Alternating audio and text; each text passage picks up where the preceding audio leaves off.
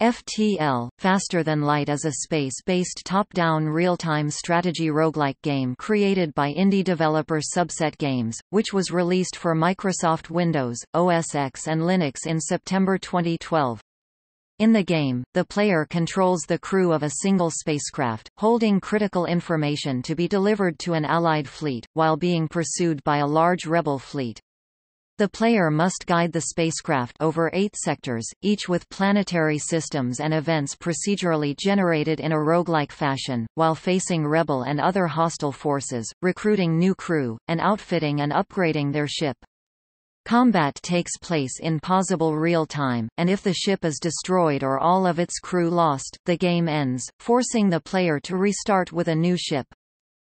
The concept for FTL was based on tabletop board games and other non-strategic space combat video games that required the player to manage an array of ship's functions. The initial development by the two-man subset games was self-funded, and guided towards developing entries for various indie game competitions. With positive responses from the players and judges at these events, Subset opted to engage in a crowd-sourced Kickstarter campaign to finish the title, and succeeded in obtaining 20 times more than they had sought. The extra funds were used towards more professional art, music and in-game writing. The game, considered one of the major successes of the Kickstarter fundraisers for video games, was released in September 2012 to positive reviews. An updated version, FTL, Advanced Edition, added additional ships, events, and other gameplay elements, and was released in April 2014 as a free update for existing owners and was put up for purchase on iPad devices. The game received generally positive reviews from critics, who praised the game's creativity. FTL is recognized alongside games like Spelunky and The Binding of Isaac that helped popularize indie roguelike-like Games that use some but not all of the principles of a classical roguelike.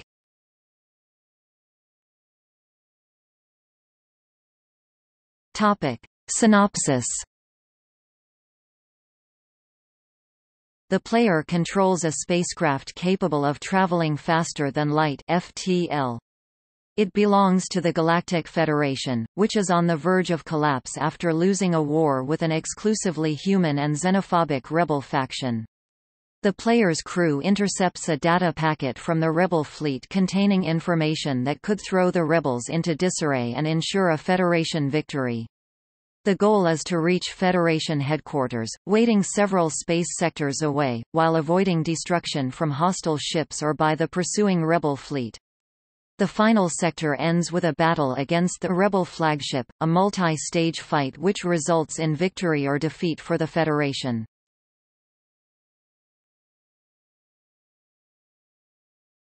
Topic: Gameplay. At game start, the player chooses a spacecraft with several specific systems rooms piloting, engines, weapons, life support, etc., and a crew. The game randomly generates eight space sectors similar to roguelike games, with 20-some waypoints per sector. The player must jump the ship between waypoints, normally unaware what awaits at each point, and make headway to an exit point leading to the next sector until the Federation is reached. The player's ship accumulates currency, additional crew, equipment, ship enhancements, but also damage to ship and crew, by maximizing the number of waypoints and hence events, other ships visited per sector. The player can revisit waypoints, but each warp jump consumes fuel and causes the rebel fleet to advance in each sector, and slowly take over more of the beacons. Once a beacon is taken over, jumping to the beacon will result in an encounter with a rebel cruiser, and will only ever grant the player one piece of fuel as a reward for defeating the ship. Encounters are more dangerous, and give better rewards, in later sectors of the game. There are eight different races of species in the game. These races can both be acquired by the player, and fought against on an enemy ship.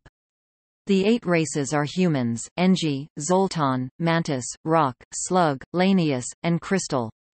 Each of the races have different strengths and weaknesses based on their physiology.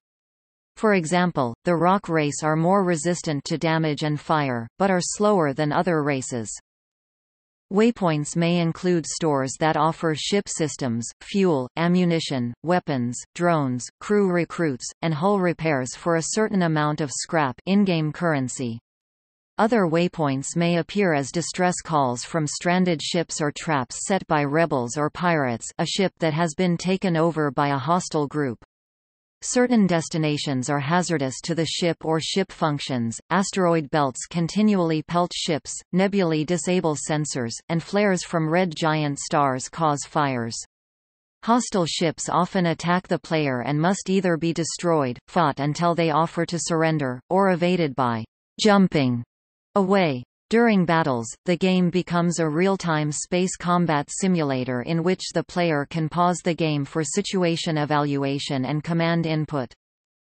In combat, the player can manage the ship's systems by distributing power, order crew to specific stations or rooms to repair damage, and fire weapons at the enemy ship. Successful weapon strikes by either side can damage systems, disabling their functions until repaired by crew, cause hull breaches that vent air into space until patched by crew, ignite fires that spread and damage both systems and the hull until they are extinguished by crew or starved of oxygen, and inflict direct hull damage, which reduces the ship's hull points.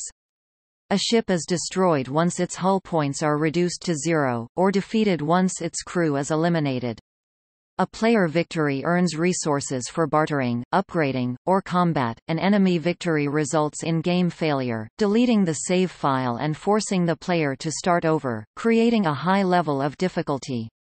Alternatively, the player may evade combat by jumping to another waypoint after the ship's engines have fully charged. Occasionally hostile ships may likewise escape the player.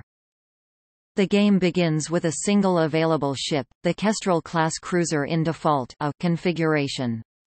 Nine further ships, one for each of seven non-human races and two additional Human Federation ships, are unlocked by completing various optional objectives. All ships have two additional layouts except Crystal and Lanius, with one each. Different color schemes, equipment, and crew that can be unlocked by completing base layout objectives. Each ship design and layout begin focus on different game play aspects. The ship roster has designs emphasizing stealth cloaking, boarding, drone systems, and other variations. The game also has separate achievements with no gameplay impact. The game can be modified by the user to alter the various ship configurations.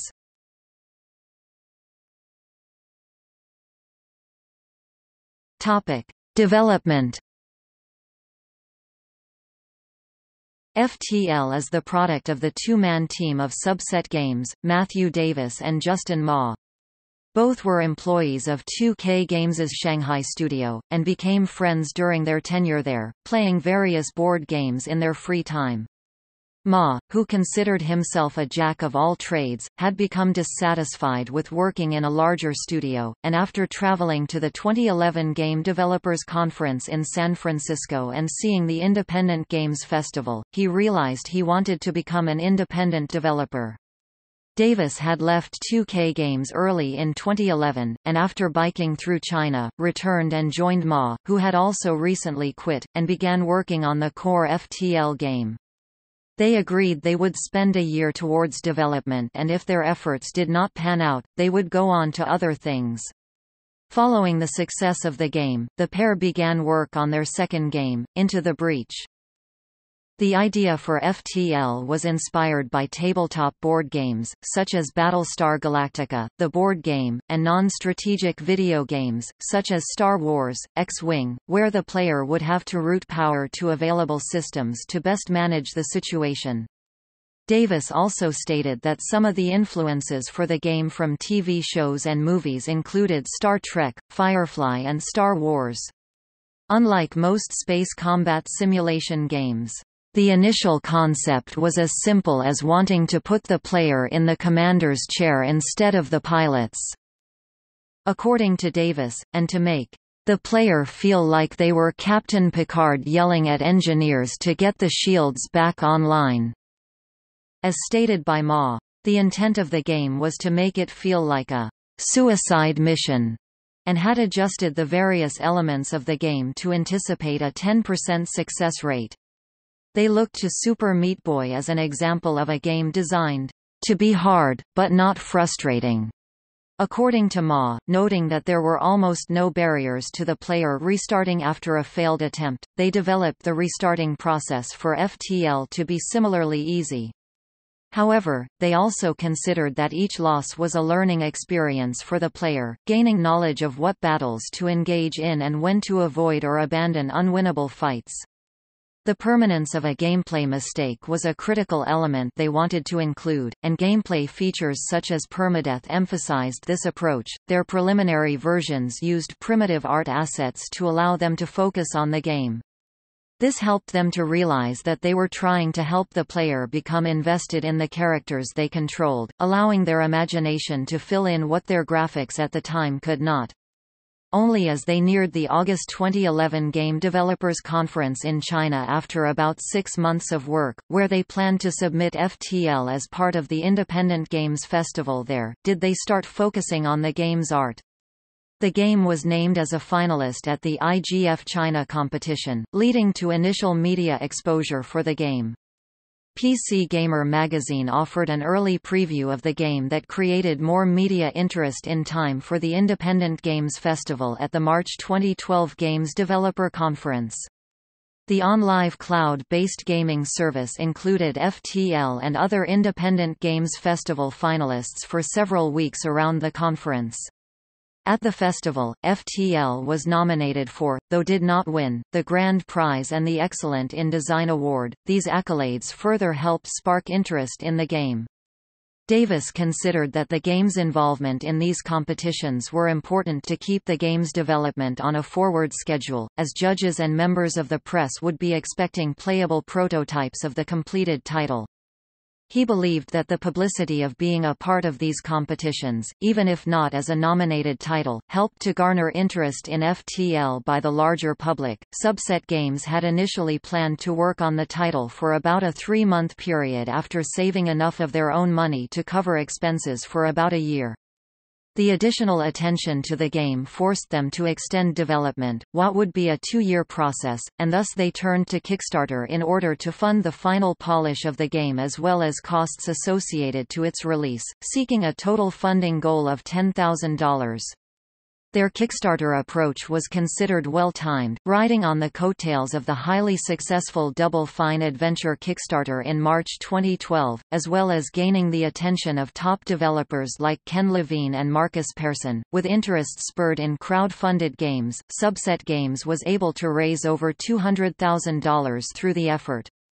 FTL represents one of the first games to come out from this surge in crowd-funded games, and demonstrates that such funding mechanisms can support video game development. With the larger funding, Subset considered the benefit of adding more features at the cost of extending the game's release schedule. They opted to make some small improvements on the game, with only a one-month release delay from their planned schedule, and stated they would use the remaining Kickstarter funds for future project development. The additional funds allowed them to pay for licensing fees of middleware libraries and applications to improve the game's performance. Additionally, they were able to outsource other game assets, in particular additional writing and world design was provided by Tom Jubert Penumbra, Driver, San Francisco, while music was composed by Ben Prunty. Prunty was introduced to Subset through another game developer, Anton Mikhailov, that was a common friend to both Prunty and Davis. Prunty was already ready to provide Subset with some music tracks prior to the Kickstarter, but with its success, they were able to pay for a full soundtrack. Prunty retained the rights to the soundtrack, and since has been able to offer it on Bandcamp. Prunty wanted to create an interactive soundtrack that would change when the player entered and exited battle. For this, he composed the calmer, Explore non-battle version of each song, then build atop that to create the more engaging battle version. Within the game, both versions of the song play at the same time, with the game cross-fading between the versions based on action in the game. One of the highest tiers of the Kickstarter campaign allowed a contributor to help design a race for inclusion in the game. One supporter contributed at this level and helped design a secret race, the Crystal.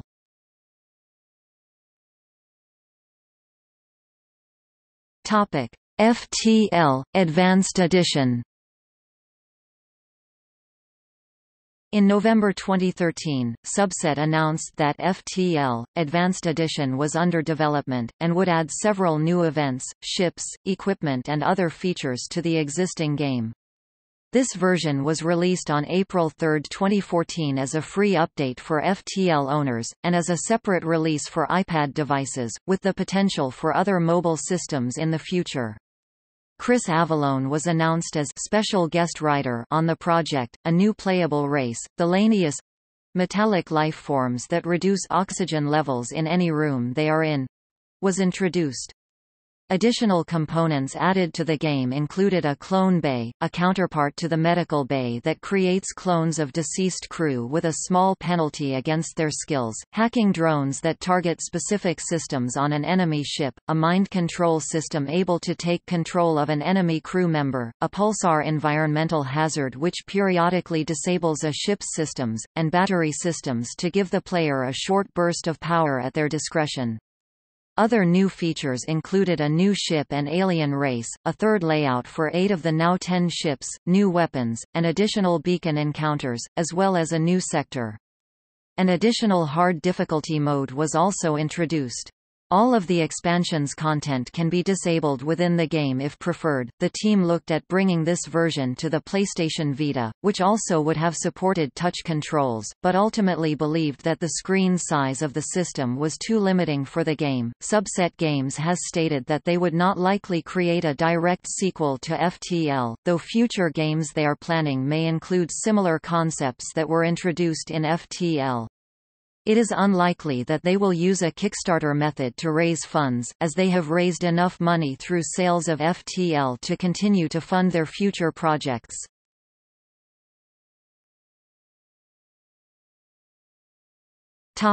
Reception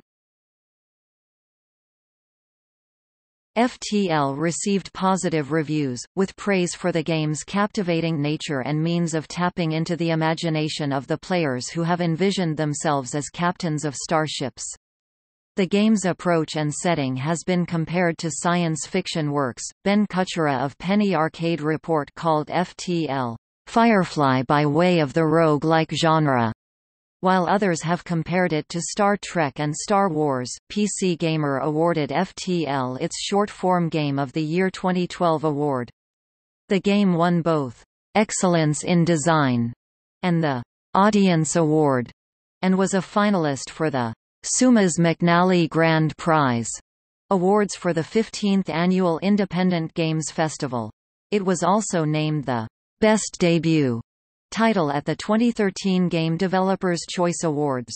At the 2014 National Academy of Video Game Trade Reviewers NAVGTR Awards FTL received the nomination for Game, Strategy Justin Ma, Matthew Davis and Game Engineering Matthew Davis. Forbes listed both Ma and Davis in its 2013 30 Under 30 leaders in the field of games for the success of FTL. While reception of the game has generally been positive, some reviewers have criticized the game's difficulty level.